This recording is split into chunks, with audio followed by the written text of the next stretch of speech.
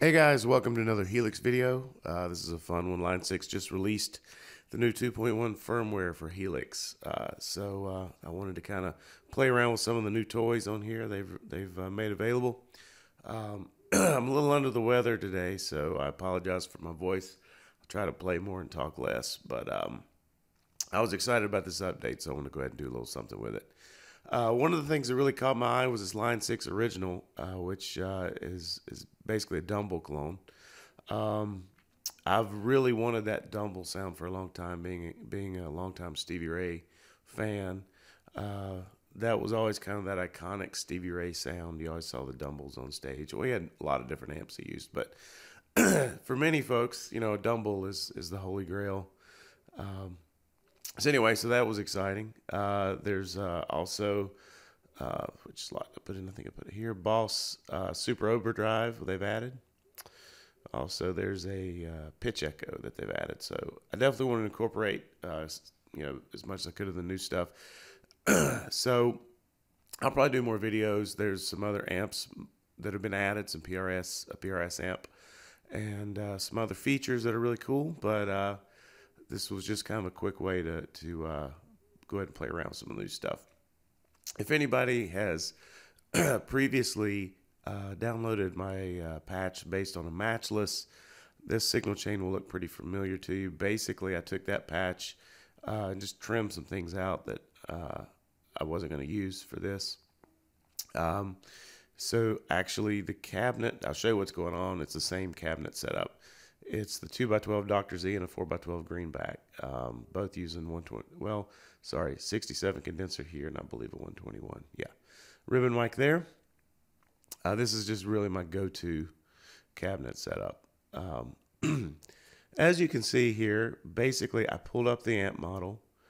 I haven't touched anything deliberately. I just, everything is pretty much on five. Uh, presence is turned down and uh, the channel volume's you know up a little bit. The ripple is down a little bit. This is exactly uh, exactly how it came when I pulled up the amp model. These are the settings. I didn't touch it. So uh, I'm just gonna gonna play a little bit uh, just to let you hear what really is kind of as uh, authentic or neutral, I guess maybe is a better way to say it.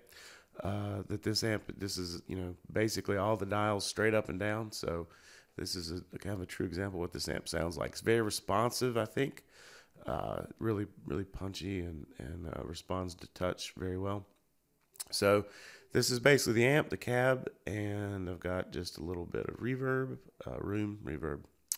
So uh, just play a couple licks here and uh, see what you think.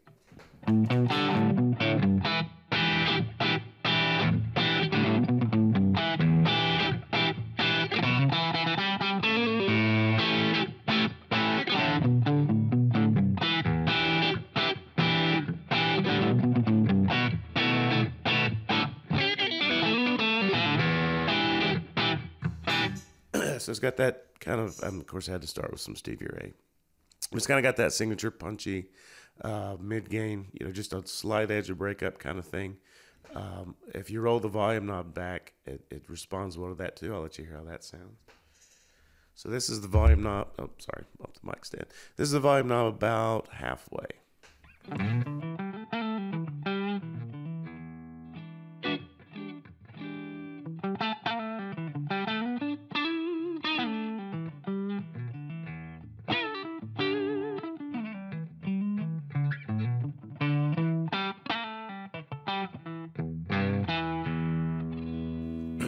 It back up.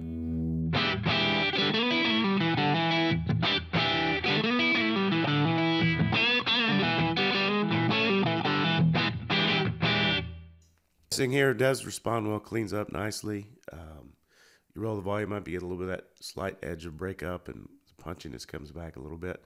Um, true to Stevie Ray form, let me throw a tube screamer on here and. Uh, just give you a quick example of what that sounds like. I think it, it really nails that you know, little slightly more push Stevie Ray sound. So anyway, here we go.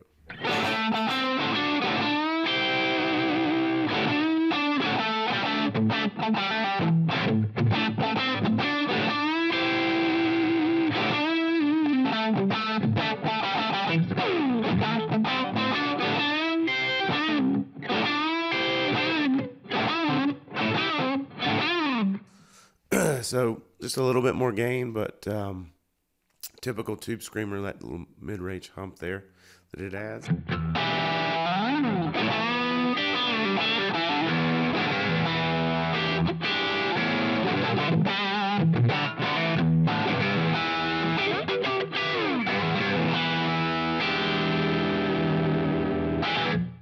So really, right out of the gate, um, literally touching no knobs on the virtual amp model, virtual knobs.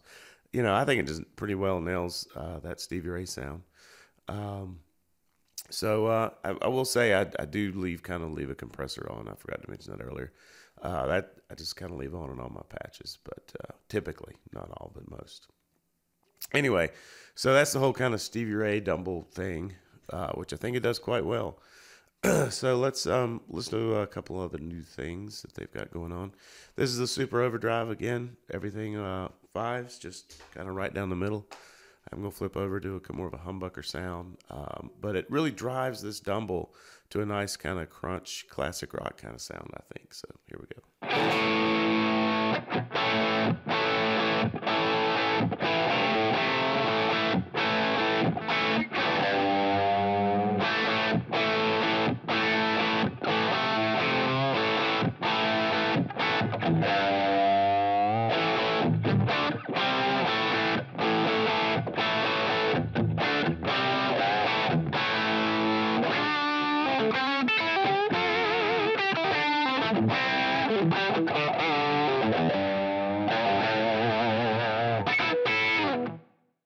Watched uh, Dazed and Confused last night on Netflix for the first time in a while, so I had some uh, little Foghat going through my mind. But um, you can hear it's you know it's a nice. Uh, again, everything's just on five. The amp, the pedal, it's it's all just right down the middle neutral. Uh, but it adds just a good, you know, nice crunch uh, with a with a humbucker sound. Um, I think it's you know a great rhythm tone uh, and, and, a pretty good lead tone. Uh, you can stack it with a tube screamer uh, if you want to add a little more uh, bite to it.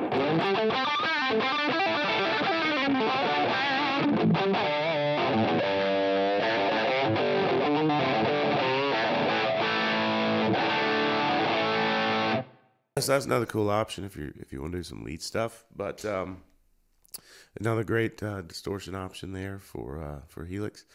Uh, the other new one is the Pitch Echo. Um, so I'm, I'm just kind of uh, there's a lot of a lot of stuff you can do with this one. Obviously, uh, essentially, uh, it lets you pick the interval, which is where the note's going. So I've got it going down minus two, which I think is a whole step. Um, I haven't looked to see the release notes to see exactly how that works, but I'm assuming that it's in increments of half steps. But um, so you can set it if you want to go up or down.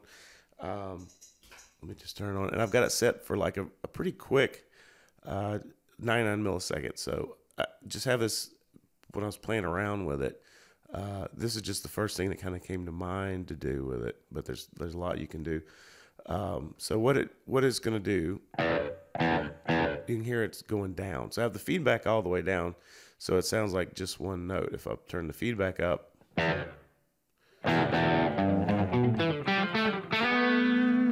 Goes on a little bit longer, but I, I was playing around with it. I thought it was kind of fun. I just had the feedback off and it go down. So it sounds like if, if you play some descending stuff anyway, it's kind of cool. It's almost like having a second, uh, well, it feels almost like having a second player behind you, but this is kind of the vibe I was getting from it.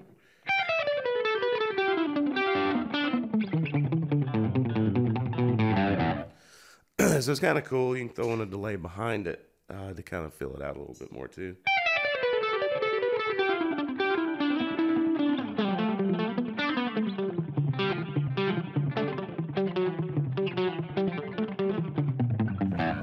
Kind of gives you that cool falling down a cliff or going down some stairs feeling. I, I don't, I'm not sure exactly how to describe that sound, but it was kind of fun. But there's there's a lot of, of different stuff. If I was to bump this up, uh, whoops, wrong knob get that back zeroed out. Um, if you were to bump this up to, it would give you the opposite effect.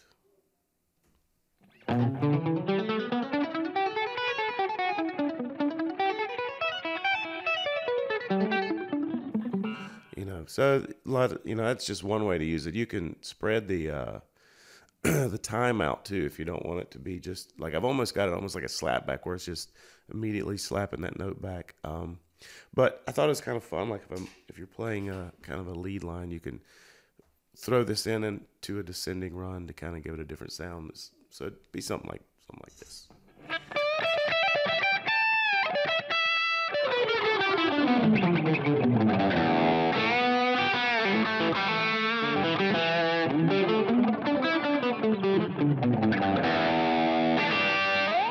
You know, definitely not something you're going to use every day, but kind of a neat effect. And that's just kind of scratching the surface of, of what that one does. But um, anyway, this is just a real off the cuff uh, kind of play around with, with the new amp model. I haven't even touched the PRS models yet, uh, which I'm anxious to do. Uh, so I may do a video of that as well. But um, it's just a really fun, responsive amp model. Uh, I'm glad Line 6 went excuse me, with um, some of the some of the boutique stuff. Uh, it just happens to be kind of the style I like, so I'm happy. the high gain guys might have been a little disappointed, but uh, this definitely is more in the wheelhouse of where I where I like to spend my time. Uh, so thank you, Line Six. but anyway, I'm just going to uh, play around a little bit, play it out, uh, and uh, flip around some of the effects. You'll find a link to this patch in the description uh, feel free to download it and, uh, of course, tweak it to uh, fit what your needs are. And, uh, you know, I have some stuff kind of left over from my other patch. That's why there's like four distortion pedals and some different stuff. You may not need all that, so you, are well, you know, make it your own if, if you like the general uh, space this patch covers, you know, make it your own. But anyway, just I'll play around a little bit and uh, thanks for checking it out.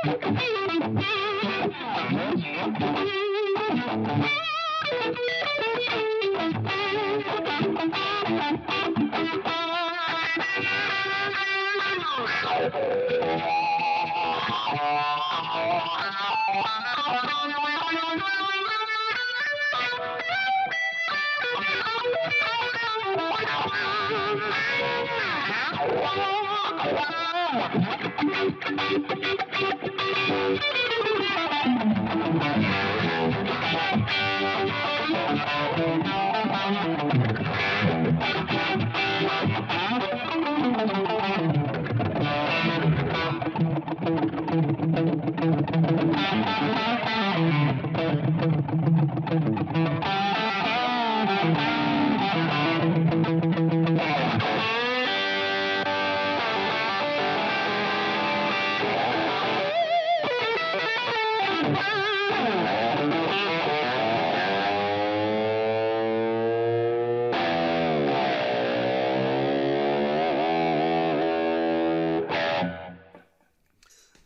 right, fun stuff, guys. Hope you enjoyed it. Uh, we'll see you next time.